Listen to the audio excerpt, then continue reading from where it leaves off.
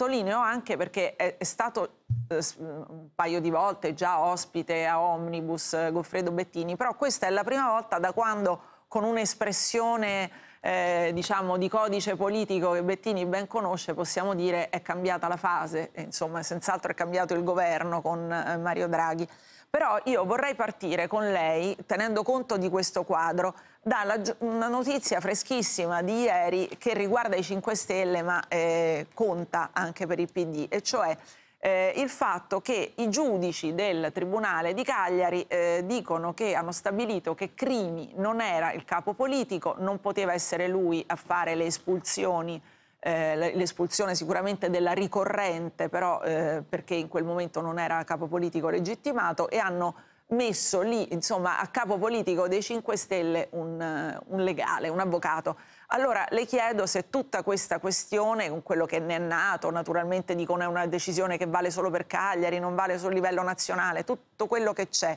però rallenta il percorso di Conte, secondo lei, e, e anche, insomma, che, che valutazione ne dà?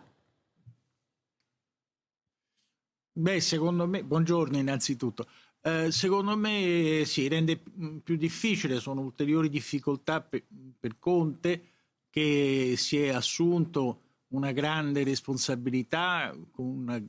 con grande generosità e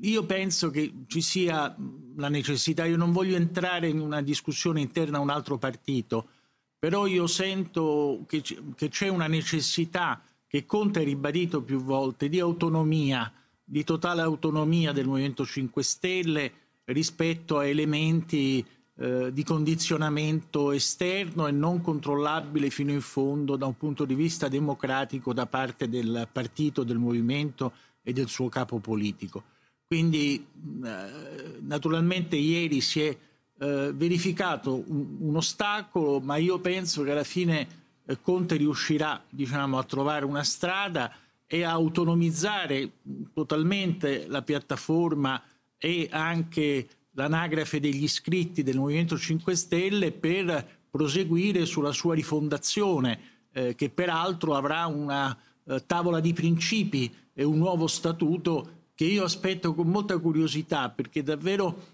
è un decollo di una formazione politica che manterrà eh, le sue caratteristiche, anche la, la, parte migliore diciamo, delle sue caratteristiche di innovazione che fanno parte eh, della sua storia, ma che effettivamente inizierà un nuovo percorso e io mi auguro un percorso di collaborazione con il Partito Democratico. E questo lo sappiamo e ci arriviamo che lei insomma è il, dire, il, il fautore di questa opzione da, da lungo tempo insomma, del precedente governo, insomma è, è la sua linea. Però, eh...